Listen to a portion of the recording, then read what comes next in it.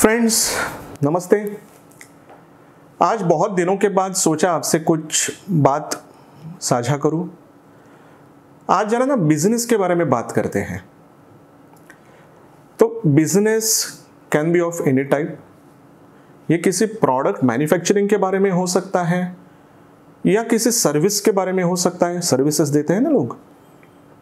या समझ लीजिए कंसल्टेशन के बारे में है। टीचिंग के बारे में भी हो सकता है। बहुत सारी चीज़ें हैं जो बिज़नेस के अंडर गवर्न होती है। तो बिज़नेस फ्रूटफुल होने के लिए ज़रूरी क्या है? तो आठ पहिए हैं एक व्हील के। Eight spokes of a wheel called business तो अगर ये आठों के आठों स्पोक्स आपके ठीक से काम कर रहे हैं, तब ये एक सर्कल तैयार हो जाएगा, जिसके केंद्र में आपका प्रोडक्ट है। इनमें से कोई एक स्पोक भी अगर हिल गया तो बिज़नेस फ्रूटफुल या फ्रुक्टिफाई नहीं होगा। तो क्या जान ले इनके बारे में कुछ? ये क्या है? एट स्पोक्स तो एट स्पोक्स में पहला स्पोक जो है, वो है आइडियाज़ एंड नो हाउ के बारे में। क्या आपको आपके प्रोडक्ट के बारे में ठीक से नो हाउ है? क्या आइडिया है आपको कि आप जिस प्रोडक्ट को लेके मार्केट में आ रहे हो, उसकी वास्तविक उपयोगिता क्या है? तो ये प्रोडक्ट के बारे में हुआ। Idea about the product know how about your product ये पहला स्पोक है। दूसरा स्पोक बनेगा, क्या आपको ये मालूम है कि आपके इस प्रोडक्ट के लिए कस्टमर कौन है? टारगेटेड कस्टमर कौन है? पोटेंशियल कौन रखता है जो आपसे इस प्रोडक्ट को, इस सर्विस को, इस कंसल्टेशन को बाय करेगा? तो मार्केट के बारे में कोई अंदाज़ा है आपको?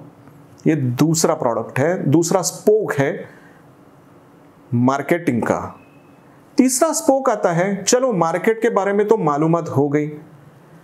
एक्स वाई जेड ग्रुप है जो आपका प्रोडक्ट बाय करेगा। तो अभी इस ग्रुप को टारगेट करने के लिए आप सेल्स कैसे मॉनिटर करोगे? सेल्स को कैसे आगे लेके जाओगे? ये तीसरा स्पोक है।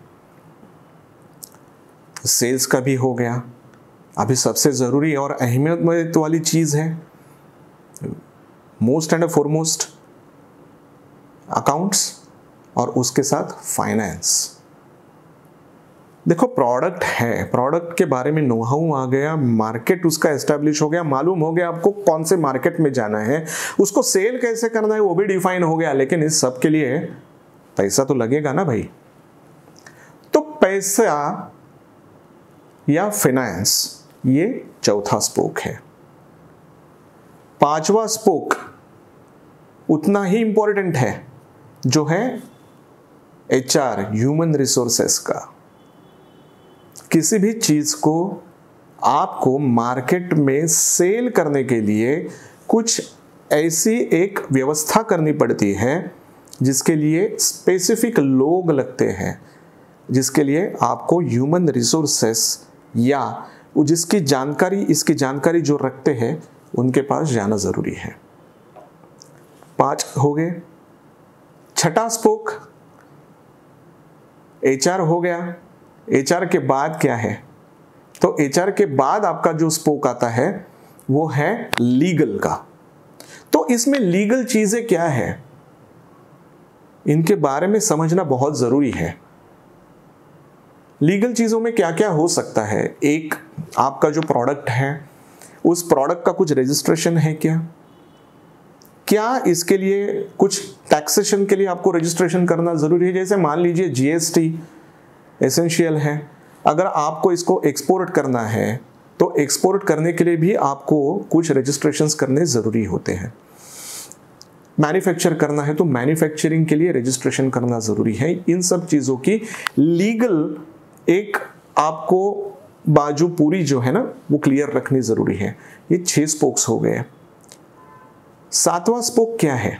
सेवेंथ स्पोक इज़ ऑपरेशंस तो ऑपरेशंस अलग अलग चीज़ों की हैं। जैसे ये इसके पहले हम लोगों ने छह स्पोक डिफाइन कर लिए हैं।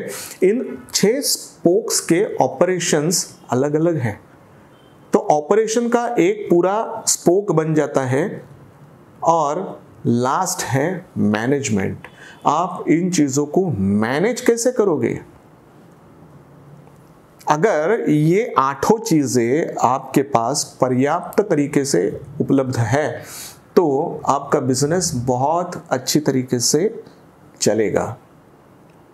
और वास्तु में इन सब स्पोक्स के लिए स्पेसिफिक डायरेक्शंस है, जहाँ कुछ इम्बैलेंस होने की वजह से कोई एक स्पोक आपका ठीक से काम नहीं करता है। मान लीजिए, जैसे आपको प्रोडक्ट का नोहाउ पूरा है, लेकिन यही पता नहीं है कि इस प्रोडक्ट को बाय कौन करेगा।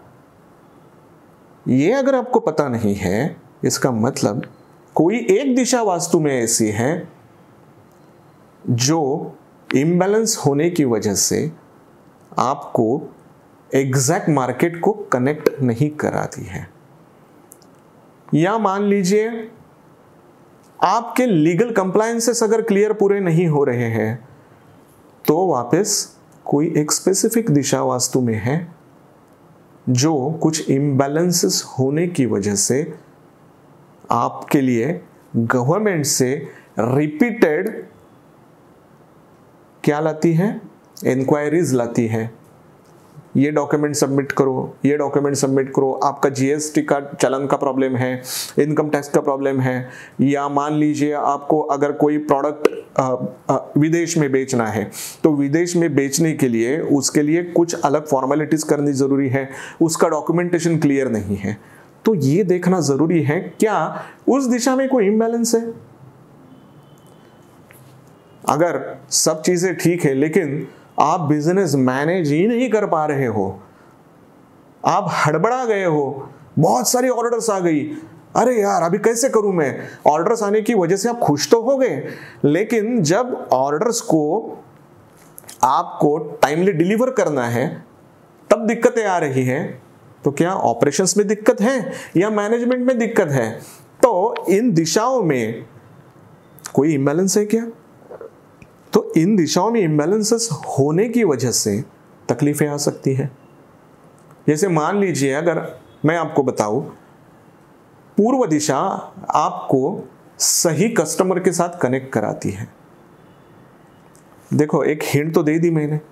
पूर्व दिशा सही कस्टमर मतलब मार्केट में आपको एग्जैक्ट कस्टमर के साथ कनेक्ट करने के लिए ईस्ट जो है, पूर्व दिशा जो है वो सहायक बनती है।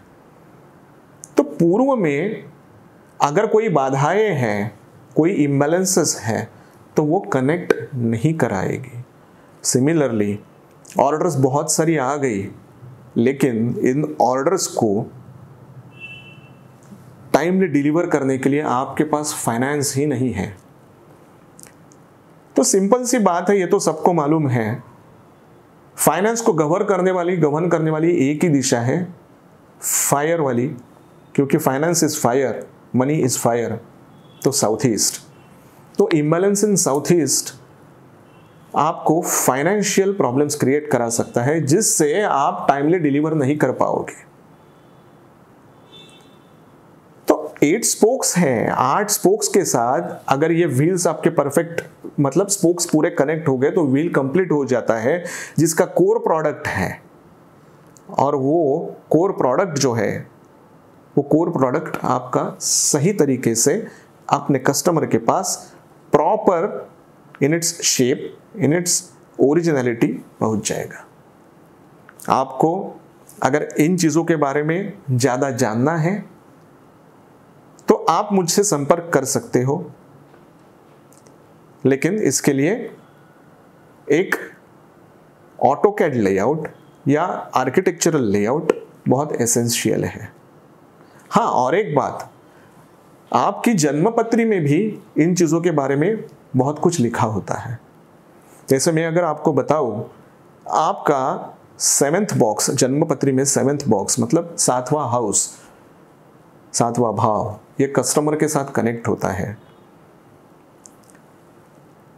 उस भाव में बैठी हुई राशि आपको बताएगी कौन सी दिशा आपके लिए कस्टमर्स लाने के लिए बेहद इंपॉर्टेंट है। और साथ में कोई प्लानट अगर वहाँ बैठा है तो वो भी कुछ चीज़ें बताएगा। तो ये दोनों चीज़ें मतलब वास्तु है साथ में ज्योतिष है। इनका मिलाप करके हम बिज़नेस में बहुत अच्छी तरीके से लाभ लेके आ सकते हैं। आप मुझसे कांटेक्ट कर सकते हो। महावस्तु के वेबसाइट पे आपको मेरे डिटेल्स मिल जाएँगे, जिस पे आप कांटेक्ट कर सकते हो और अपने लिए एक अपॉइंटमेंट बुक करा सकते हो। थैंक यू मैं वापस आपके साथ कनेक्ट हो जाऊँगा कभी एक बार किसी दूसरे सब्जेक्ट के साथ। तब तक बी हैप्पी स्टे हैप्पी और healthy as well bye bye thank you